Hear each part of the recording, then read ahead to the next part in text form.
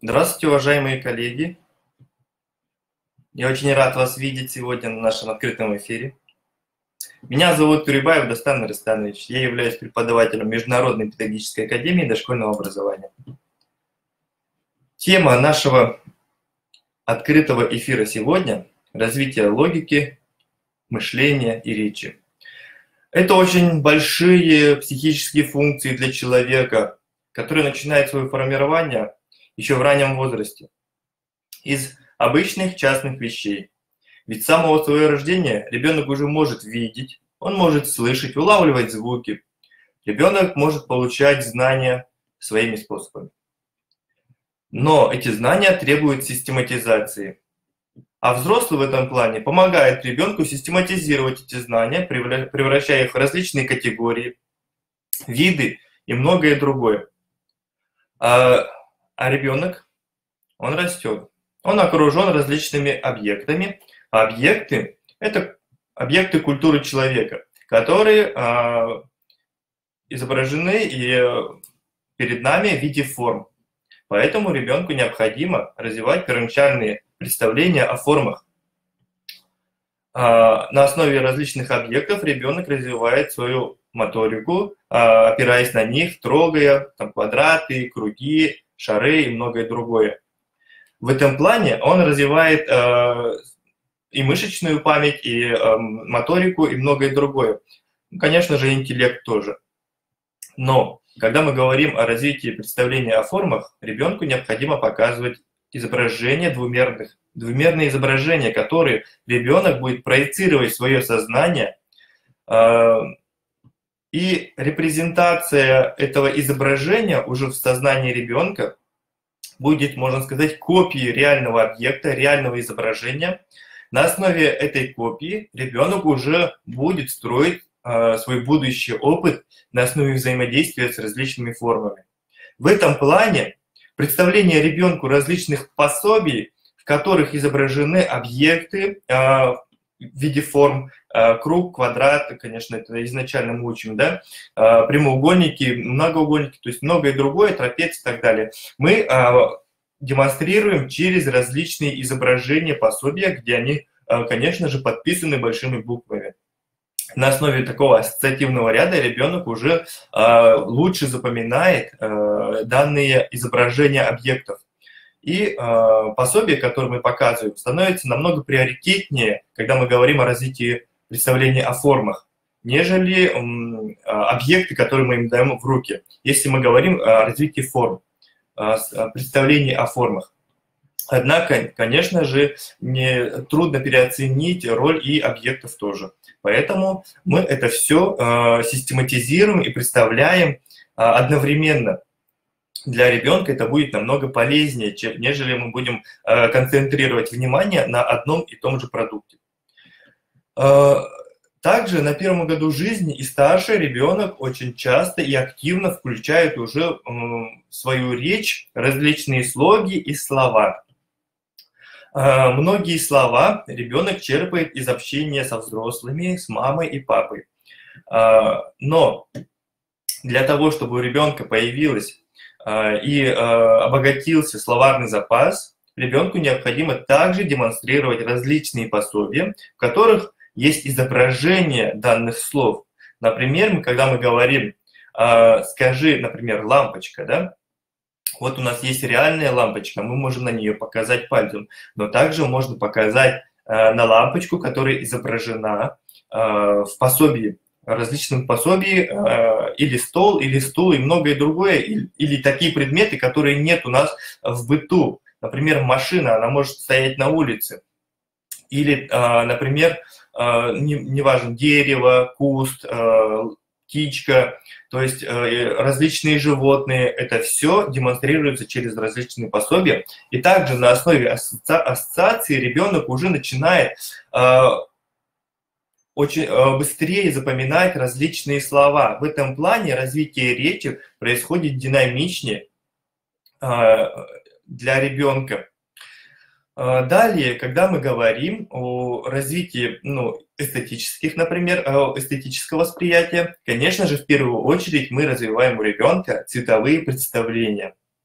Хотя многие исследования показывают, что э, эстетика представлена у ребенка с самого раннего возраста, ведь э, проводили эксперимент, когда ребенку показывали изображение на основе выбора экспериментатора и многих других участников взрослых людей с красивыми чертами внешностями и внешности и некрасивыми, если так можно сказать, то ребенок больше внимания концентрировал на э, людях, которые более красивые, честно говоря. И э, далее они э, выявили категорию э, красивые люди, это те люди, у которых симметричные черты лица, и ребенок больше внимания уделял им. Но, тем не менее, когда мы говорим о эстетическом развитии, э, мы говорим о цветах. Цвет вносит за собой эмоциональное восприятие, эмоциональное подкрепление различных объектов, и э, цвет очень важен для ребенка, так как на основе него ребенок уже развивает свою эстетику, представляет различные изображения. Когда он раскрашивает объекты, он радуется своему делу, радуется тому, что он сделал. Поэтому цветовое восприятие тоже важно. Однако э, необходимо также показывать, что существуют различные цвета, за ними тоже идет различное эмоциональное подкрепление, и показывать, э, какой цвет отождествляет э, определенную эмоцию, можно сказать, и какие цвета могут смешиваться, показывая и представляя нам другие цвета. Это тоже можно делать через определенные книги э, и через определенные пособия. Далее, когда мы говорим уже о логике мышления, то здесь мы уже, можно сказать, а, некоторую основу у ребенка развиваем, то есть форму, речь, а, цвет и многое другое. Но, тем не менее, для того, чтобы у нас мы достигли вот этой цели развития логики и мышления у детей, конечно же, мы не обходимся и без антонимов. Антонимы – это такие слова или объекты, противопостав... Э, которые несут за собой различные противопоставления. И данная тема сейчас очень популярна стала, так как сейчас очень много исследований выходит в этом плане, и много различных э, словарей антонимов, э, различных публикаций, статей по этой теме. А, особенно это важно для филологов, а, так как они сейчас очень много внимания уделяют этой теме. Антонимы – это очень сложная тема для ребенка, так как ему необходимо понимать, что существуют различные противопоставления. Например, а, например когда мы даем ребенку ну или показываем змею. У змеи есть начало, у змеи есть конец, да? И ребенку надо понимать, что вот начало – это противопоставление концу. То есть это два антонима, однако эти два антонима принадлежат одному и тому же объекту. Это уже диалектика, можно сказать, э, в начальном этапе. Поэтому ребенку это сложно, и это все необходимо демонстрировать. А, когда мы говорим о формах, давайте сейчас сделаем под итог, мы формируем у детей представление о формах, возможно, даже величинах. Когда говорим о речи, развитие словарного запаса, умение составлять многословные предложения. А, если это цвет, ознакомление детей с вариантами цвета, умение называть цвет и развитие цветовосприятия. А, и э, как на основе различных исследований можно сказать, что в возрасте от двух лет главным структурообразующим является именно цвет, не форма, а цвет. А, когда мы говорим о логике, это развитие логического мышления, выявление закономерностей, умение сопоставлять, выявлять, вычленять. А, мышление, развитие аналитических способностей у детей дошкольного и более старшего возраста. В этом плане, э, когда мы говорим о таких важных и больших вещах, э, необходимы пособия. И я бы хотел порекомендовать вам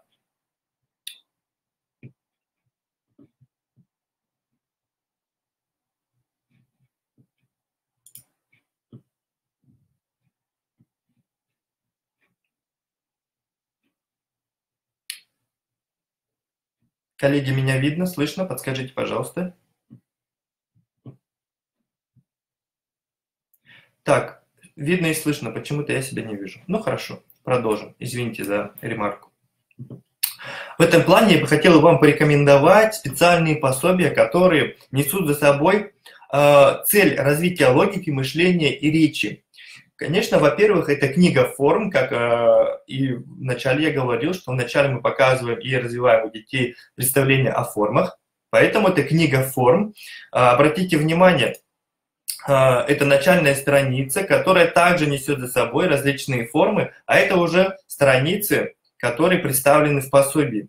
Пособия эти состоят из твердого картона, до 10, по-моему, страниц, или до 20 страниц. Надо будет посмотреть. У меня только одно пособие, я сейчас вам покажу его.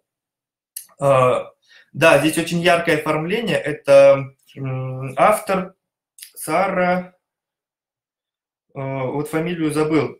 Зарубежные пособия, переведенные на э, русский язык нашими переводчиками. Так, э, Сара Дайер, художник. Да, Э, и обратите внимание, какие здесь представлены формы. Ведь для ребенка очень сложно, во-первых, посмотреть и вычленить для себя определенную форму из страницы, на которой представлены различные формы и величины. Да? Однако мы ребенка учим концентрировать внимание на различных формах. Например, дверь. Дверь – это какая форма? Это прямоугольник. Да? Например, телевизор. Это тоже объект они с дверью почти не похожи, однако у них есть а, особенность, а, похожие друг на друга. Это прямоугольность, форма прямоугольная. Также у нас есть КАМАЗ, да, грузовик, у которого э, багажник, да, ну вот, вот этот вот кузов тоже прямоугольный, картина, окно, все это прямоугольное, мы учим ребенка тому, что многие объекты у нас э, систематически похожи друг на друга именно формами. Э, следующее пособие. Книга слов. Слова очень важны для детей, особенно важно их показывать в картинках. И здесь уже обратите внимание, какие слова здесь э, могут встречаться. Именно слова с животными, слова с объектами, э, Э, слова э, и в быту, и э, на улице, и в природе, и многое другое. Чаще всего здесь каждая страница, она представляет определенную категорию. Например, животные. Здесь, например, тоже можно встретить и морских обитателей, и что бывает большим, то есть это уже величины, уже мы развиваем у детей. То есть задача, которая стоит в пособии, она несет за собой не только там, развития мышления или слов, если, как в названии мы прочитали. Надо исходить из э, того, что производитель несет за собой ну, определенную задачу, а мы можем эти пособия использовать уже в различных сферах. Э, и помимо того, что мы показываем слова в картинках, мы также говорим о том, что некоторые объекты больше, и э, можно сказать, что вот обратите внимание, вот у нас мячик круглый, а солнышко у нас тоже круглое. То есть пособие не только развивает словарный запас ребенка, а также представляет ребенку различные величины. Следующее пособие – книга цветов. Книга цветов. Очень яркие цвета здесь представлены, обратите внимание. А, и также представлены эмоции, которые связаны с различным цветом. Ребенку необходимо показывать на определенных персонажей, говорить, что он чувствует в этот момент. А, например, вот у нас розовый и красный, а, у нас, у нас котенок чувствует любовь, а это у нас, ну, вроде как зайчик, он смущается, да, то есть эмоции тоже представлены у различных персонажей. И, э, конечно же, это книга антонимов. Антонимы – это очень сложная тема, и она представляется ребенку, конечно же, э, именно задача представления антонимов уже э, чуть позже, после того, как мы формируем у детей представление о формах, словах, и величинах, и цветах, и многого другого. Однако, Давайте сейчас я вам поближе. Вот это пособие «Книга антонимов». Очень мне нравятся эти пособия. Они в цветном варианте, красивые. Э, помимо того, что здесь представлены объекты, распределенные по категориям, например, в доме, да, вот у нас есть на улице, животные, э, действия, глаголы. Здесь представлены картинки объемные, которые можно показывать детям, что вот, например, здесь лампочка, да, здесь у нас кровать, то есть вот эта лестница, диван, машина, вот, и многое другое, показывая ребенку, уча, э, ребенку а, видеть определенные слова. Особенно мне нравится вот с животными. Животные здесь очень красиво представлены, почти в реальном, э, и реально по отношению друг к другу в размерах. И также тут можно легко определить то, какое животное представляет из себя. Вот такие пособия. Ссылочку сейчас, вот книга цветов. Вот общую ссылочку я сейчас вам отправлю на эти пособия. Называется серия «Слова в картинках». Это четыре пособия, формы, цвета, слова и антонимы. Так, эти четыре пособия, вот они представлены перед вами. Логика мышления, речь – это основные задачи, которые несут в себе. Однако, это инструмент, на самом деле, пособие для родителя, для педагога, поэтому использовать его можно а, совершенно по-разному. То есть, если пособие несет за собой задачу развития словарного запаса ребенка, однако там есть изображения, есть цвета, конечно, мы и а, можем придерживаться и данных задач – когда мы развиваем ребенка, показывая им. Конечно, это все происходит постепенно, э, с участием и показом э, различных пособий, не только одного, а то есть э, мы в совокупности систематически показываем, представляем ребенку.